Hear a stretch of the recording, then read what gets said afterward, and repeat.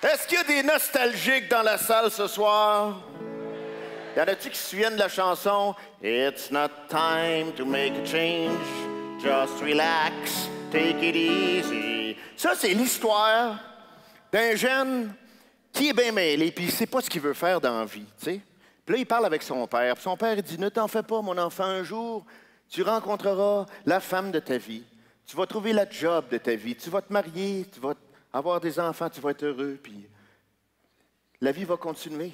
Et le fils répond à la fin de la chanson à son père But I have to go away. I know I have to go. Hey, elle finissait-tu bien cette chanson-là? Il partait, les enfants, dans ce temps-là.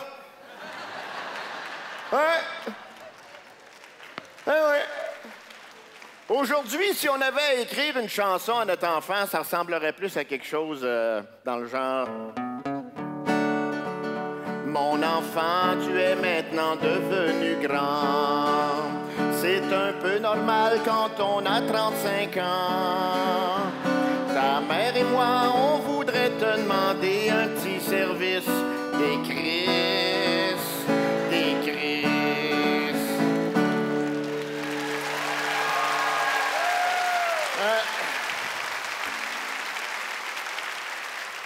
Voulez-vous bien me dire pourquoi ils partent pas? On partait, nous autres. Bon, moi, je suis pas un bon exemple. là. Moi, je suis le neuvième d'une famille de dix enfants. Puis, les quatre gars, on couchait dans la même chambre, tu sais. Puis, on grandissait un peu comme des poissons rouges d'un bocal, tu sais. On grandissait en fonction de l'espace qu'on avait. Ah. Fait que moi, à 18 ans, je mesurais 5 et 7, je pesais 110 livres, je pouvais pas aller plus loin que ça, j'empiétais sur le terrain de mes frères, tu sais. Fait que j'étais bien content de partir à l'âge de 18 ans. Mais aujourd'hui, les choses ont bien changé. Tu sais, les maisons sont plus grandes. Il y a 1,7 enfants par famille. Ça, c'est l'enfant et son ami imaginaire, là. Puis, je sais pas ce qu'ils mettent dans la bouffe. 5 et 7, c'est la longueur des bras. Hey, mon voisin d'en face, son gars, 14 ans, 6 pieds 4. Il a arrêté de grandir 16 ans, 6 pieds 5 et demi. Une grande échalote de 6 pieds 5 et demi.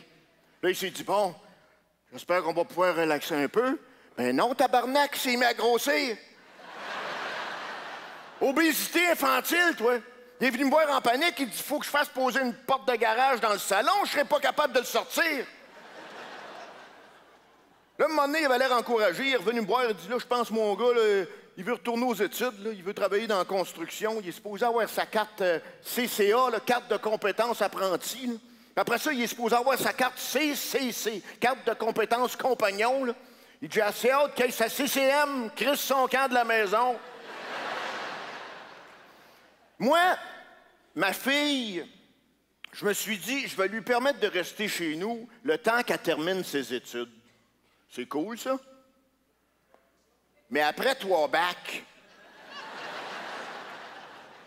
je commençais à perdre ma maîtrise, tu sais. Surtout que ça coûte cher. À cet âge-là, hein, ça s'habille pas n'importe comment. Les filles, là, tu sais, euh, tu sais, ça, ça, s'habille pas n'importe comment. Tu sais, ça prend maintenant la griffe du couturier, maintenant la signature, hein, des vêtements ajustés, là. Tu sais, ajustés. J'appelle plus ça ajusté, moi j'appelle ça emballé sous vide, là. En tout cas, ça pour dire qu'à un moment donné, elle avait tellement de prêts bourses, elle gagnait plus que moi. C'est là que j'ai dit à ma femme, faut qu'elle parte. Fait que là, j'ai dit, faudrait qu'on trouve des arguments, tu sais, pour l'inciter à partir d'elle-même. Fait qu'on a commencé par couper le téléphone cellulaire. Là, elle était bien contente, on pouvait plus la rejoindre. J'ai dit, on va trouver d'autres choses, on va trouver d'autres choses, on cherche, on cherche. Là, j'ai coupé l'Internet. Oh ben, hey, mes 100 000 amis sur Facebook, qu'est-ce que je vais devenir? J'ai dit, hey, appelle-les tes amis sur Facebook pour voir s'ils veulent t'aider à déménager. Tu vas voir que tu n'as pas tant que ça. Hein? Finalement, on l'a achevé avec le frigidaire. Parce que nous autres, on est de la génération, on fonctionne avec le pif. Mais eux autres, ils fonctionnent avec la péremption. Fait qu'on a tout effacé, date d'expiration, c'est dispo. On l'a fourré bien raide. Fourré bien raide est en train de devenir anorexique. Fait que là, après avoir coupé le téléphone, après avoir coupé l'Internet, les petites dates, c'est chaud, tout ça pour couper le cordon ombilical. On s'est rendu compte que ça ne marchait pas encore. Fait que là, j'ai dit à ma femme, avant d'y couper la horte,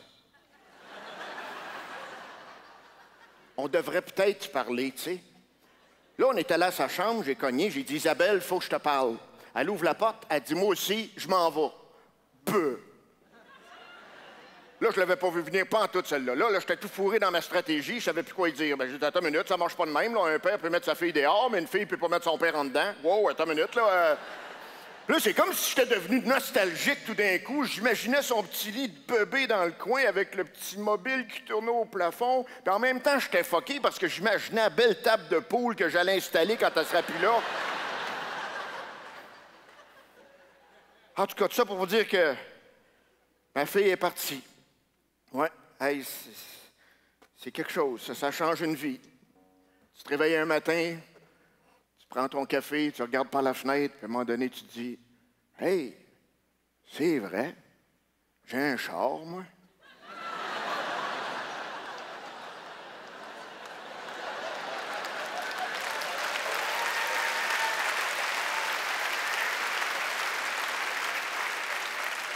Ah, c'est sûr qu'elle nous manque, là, tu sais. Comme un soir, je me souviens, ma femme puis moi, on écoutait la TV tranquillement, puis à un moment donné, elle me regarde, puis elle dit euh, On l'appelle-tu? Je dis On n'est pas question. Elle dit Parce que ça fait trois semaines qu'on écoute la TV, c'est Auxiliaire 4.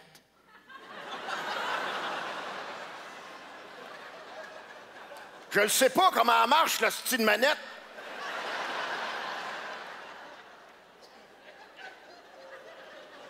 On achèterait un autre TV, c'est tout.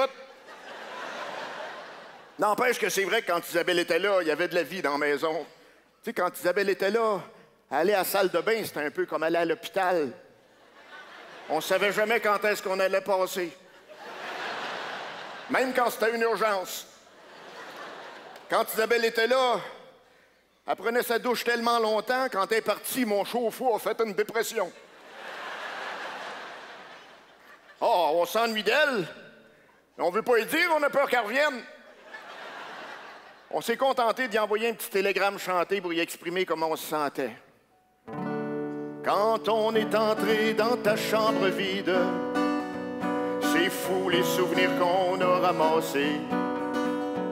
De la pizza, des versales, des ustensiles, une aile de poulet qui s'est envolée en balayant pour enlever la poussière. A découvert un plancher de bois franc. Et sous le tas de linge qui traînait par terre, ton chum qui avait disparu il y a deux ans.